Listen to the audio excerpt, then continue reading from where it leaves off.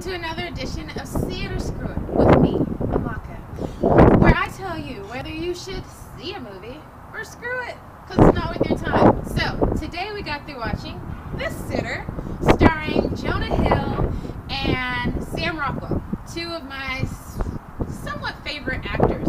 Jonah Hill, you've seen him on a lot of different stuff. He's super funny. Now he's kind of skinny. You know, when he's fat, I think he's funnier. You know, even though maybe that's probably bad for his health. I still think it's funnier. I like him fat. I don't care. Die. I like him fat. Anyway, then Sam Rockwell, you've seen him in a lot of movies. He's funny in any kind of aspect. You know, he's in, he's in nice, funny movies and a lot of dramas. He can kind of flip flop in any kind of way. So, back to what this movie's about. This movie is about him being this sitter. He actually is not really a sitter. He's kind of like this dropped out of college, lazy, and he's doing his mom a favor by babysitting his neighbor's kids. And it ends up taking him on like this crazy adventure of just different stuff you wouldn't even expect it.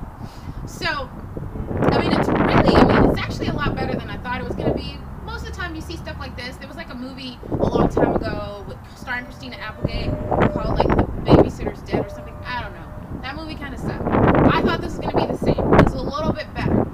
Uh, there's like a little girl in it. She's really, really cute. And my favorite person is a little Hispanic boy. I think his name is like Rodrigo Felipe. I don't know. It's kind of a basic name It's Hispanic people be racist, but it kind of is. Uh, and he's actually from El Salvador. And he's like this little badass, don't mess with me type of little kid. Pretty funny.